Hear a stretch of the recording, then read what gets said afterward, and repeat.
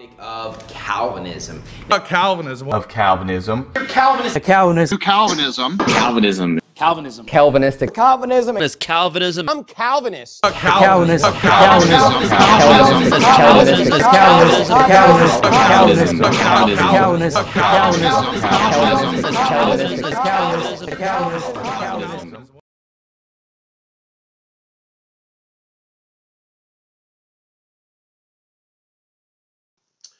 Hello, Jeff Dollar here. Uh, it's no secret that the new IFB opposes Calvinism. Uh, you'll find it in their doctrinal statements. Now, you don't find extensive doctrinal statements uh, in their churches. Usually, it's a one page list of what they believe or don't believe, but included among that is their opposition to Calvinism. Uh, you don't see opposition to Mormonism or Seventh day Adventism or the Jehovah's Witnesses or other things like that. Uh, but specifically, you see Calvinism singled out. The question I like to look at is, is why. You know, it is uh, it's quite a, a leap to take such a position. Now, it's one thing to say we disagree with the Calvinists on this point or that point. You know, uh, even Steven Anderson had to admit that uh, the Baptist Confession, the 1689 Baptist Confession, has a lot of good stuff in it. You know, that doesn't oppose his position. He actually began to go through it. I don't know if he followed through with that or not. Uh, but uh, statements of doctrine which are clear that, that, nearly every Christian would agree on. Uh, so uh, he, they've taken this position, however, and if you hold to the points of Calvinism, they do condemn you as a heretic. Now, one thing that they do in doing so is that they isolate themselves from history. You know, you think of, for example, the, the Bible translations, William Tyndale, uh, the King James Bible itself. Uh, there, there was a huge Calvinistic influence there. Uh, Tyndale, as I've mentioned before, was burned at the stake. One of the reasons because he denied free will. You know, so whenever you do this, and, and you, you isolate yourself uh, from these martyrs, uh, the, the, martyrs under Bloody Mary, uh, the pilgrims who came to, to the United States. They brought with them a copy of the Geneva Bible, which had Reformed notes in it, Calvinistic notes. And so when you look at this, uh, what they've done is they've completely isolated themselves uh, from their roots, from the, the, the historic uh, Christian roots of the United States and Europe. and so I'd like to know why they have done so. There's there's a reason for that.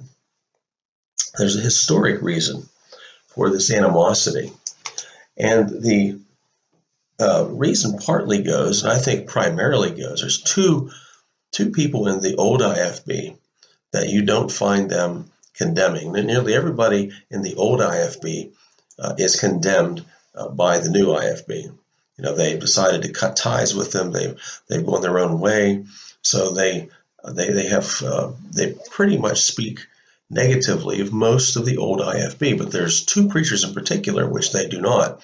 One, of course, is Jack Hyles, uh, that that provides, I believe, the the background uh, for the the new IFB, and the other. But the doctrine that you've got to repent of all of your sins and then put your faith in Christ and you can be saved is heresy. It's a fundamentalist heresy and it is a salvation by works.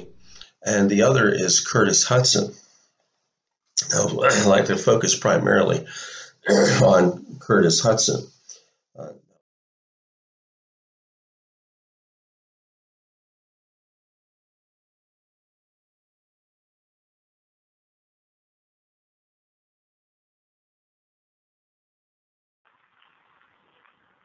now, the man of the hour, Dr. Curtis Hutson.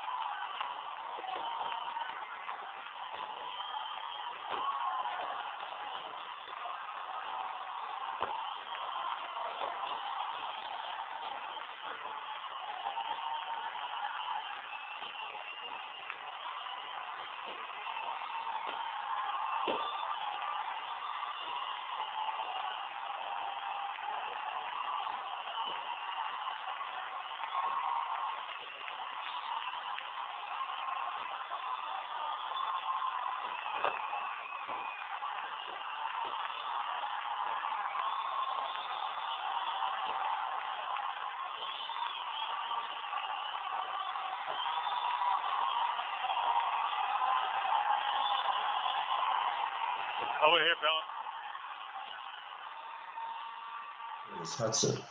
Uh, now, Jack Hyles was obviously uh, not a Calvinist, and he would occasionally mention it in a negative fashion, uh, but he didn't go on the tirades uh, like you see uh, within the new IFB. And, and, and the introduction to this video, I just took a, a little bit of time and picked out a few of the many hundreds of sermons you can find against Calvinism that is posted by the new IFB. And it goes seems to go in waves.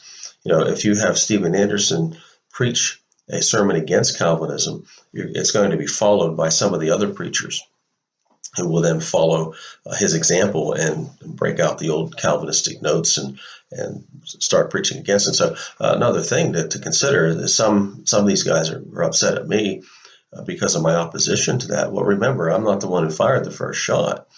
You know, as, as a reform minister, I look on YouTube and I find this constant barrage of uh, anti Calvinistic sermons and, and, teachings and directed at us, calling us heretics. Whereas, uh, let's just take a look here. This is just an example, uh, the, perhaps the most vocal example uh, that I was able to find concerning Curtis Hutson. I'm sure there's more out there, as I don't have the time to to comb through all of the all of the, the new IFB videos.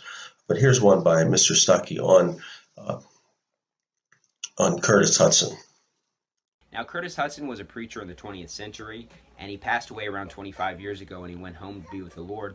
And he was a very zealous soul winner, and uh, he took a real strong stand on salvation. And, uh, you know, he's also very zealously King James only.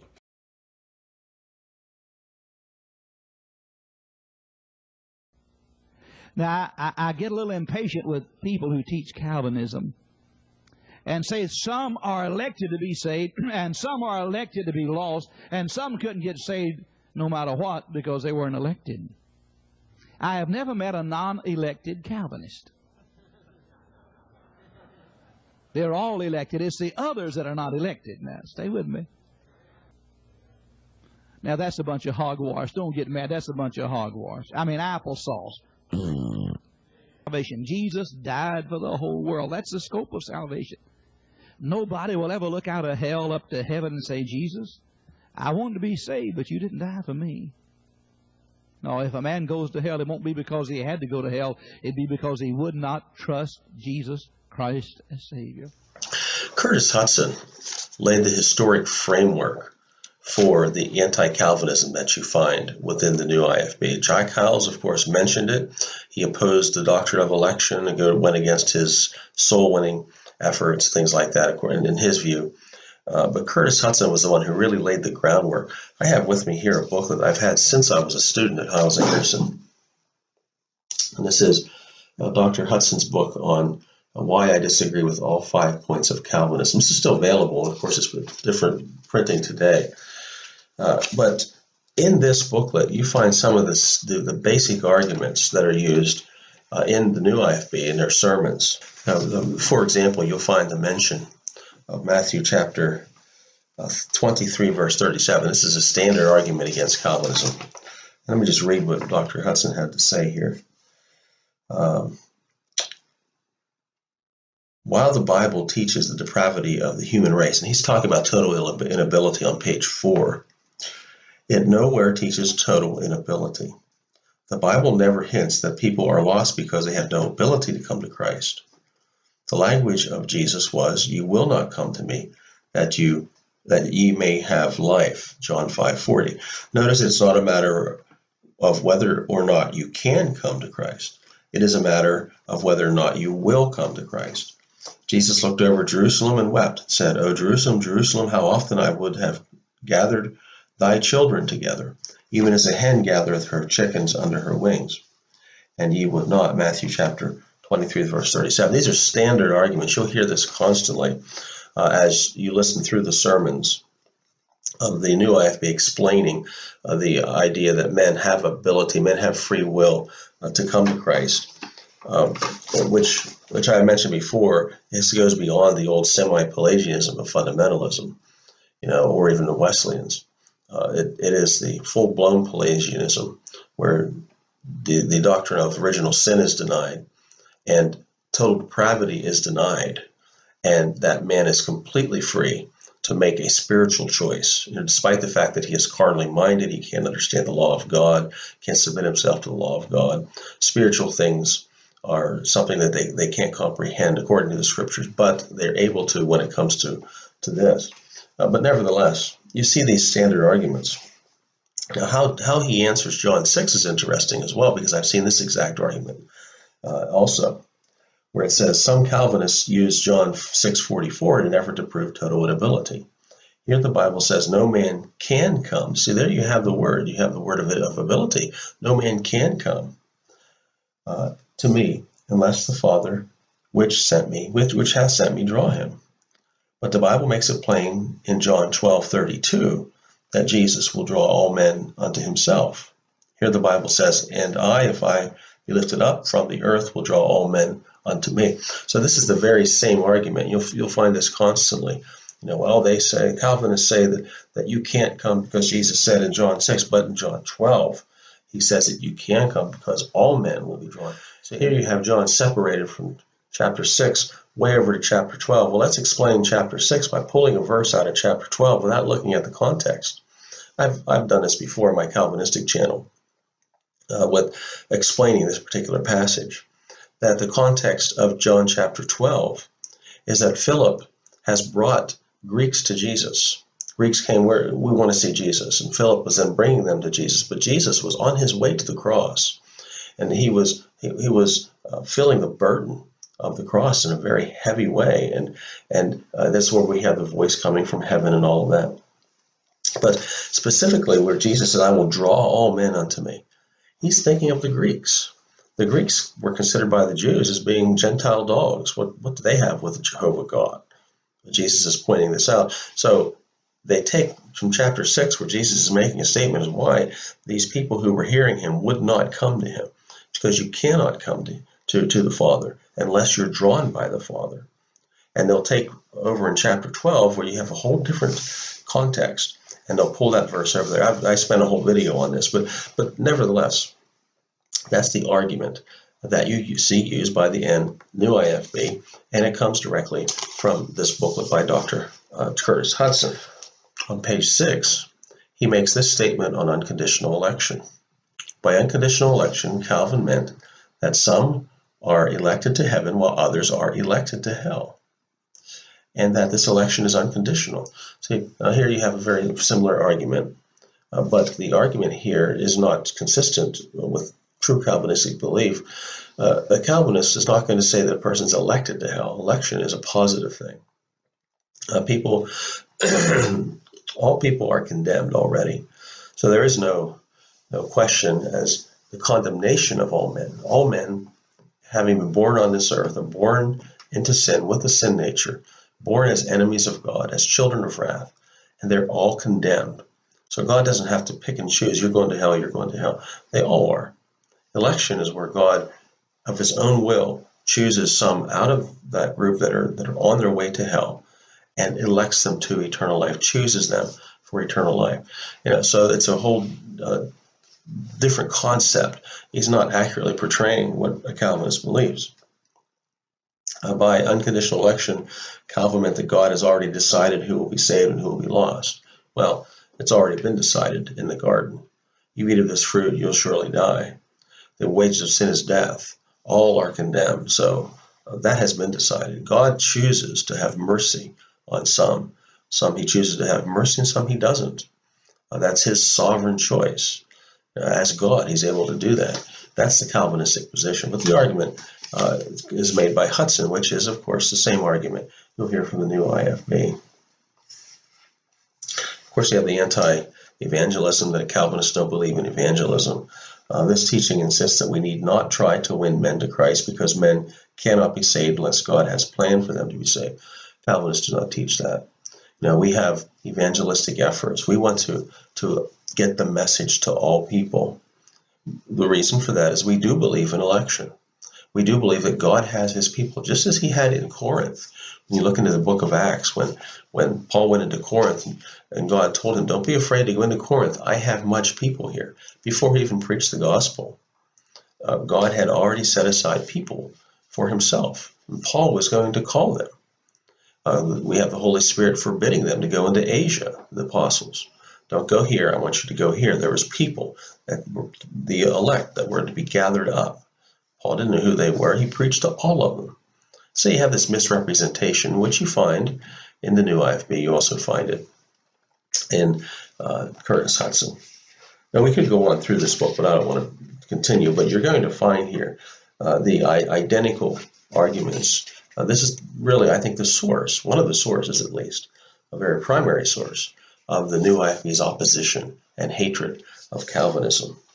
Uh, so why then, and just summarizing this up, why then do new IFB preachers spend so much time harping on Calvinism? Well, one, and I've already mentioned this many times, that Calvinism most clearly refutes uh, the NIFB heresies, new IFB heresies.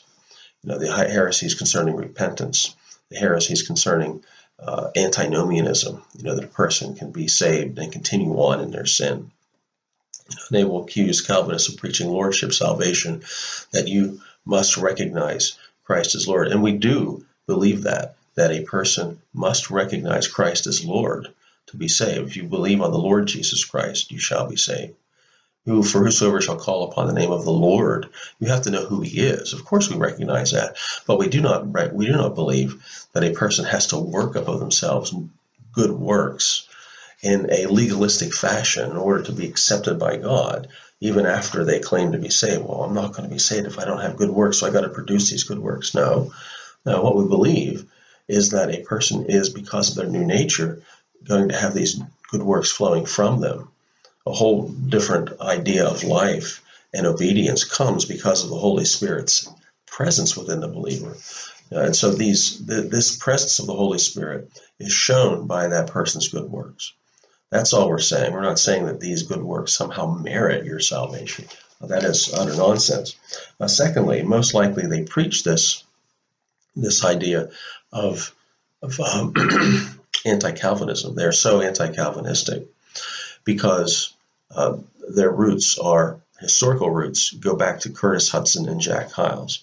Not, not primarily Jack Hyles when it comes to Calvinism. I believe that, that both of them have the idea of repentance. You know, the, the, they, they preach the same anti-repentance gospel, non-repentance gospel, that you don't have to turn from your sins to be saved. They both preach that, Hyles and, and Hudson.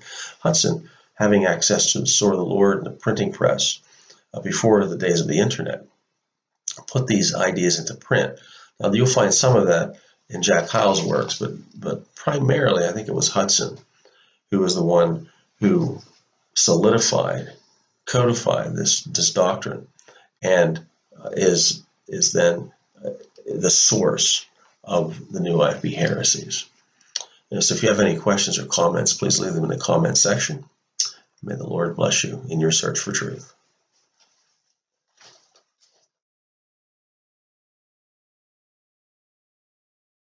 Lost person. And that's why I consider pretty much any Calvinist to be lost. I, I, I just do. I, I don't believe, I, am sure there's exceptions that are out there, but I think it's a very rare thing. I'm going to treat them all as lost. If I run into one out soul winning, I'm going to treat him as he's lost. I'm going to try to get him saved.